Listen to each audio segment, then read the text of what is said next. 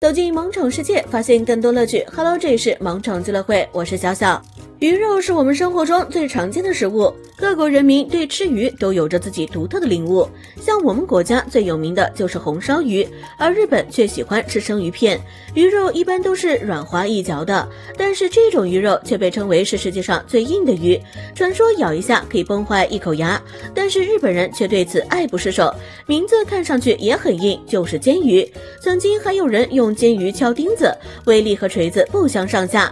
国外一小伙还把煎鱼。鱼磨成了一把锋利的刀，可以轻易的捅破一些东西，看起来还有点害怕。其实活的煎鱼与普通的鱼没有什么不一样，唯一不同的是，这种被制成鱼干的煎鱼易于保存。如果直接用牙齿咬的话，那么一口牙可能就会被崩坏。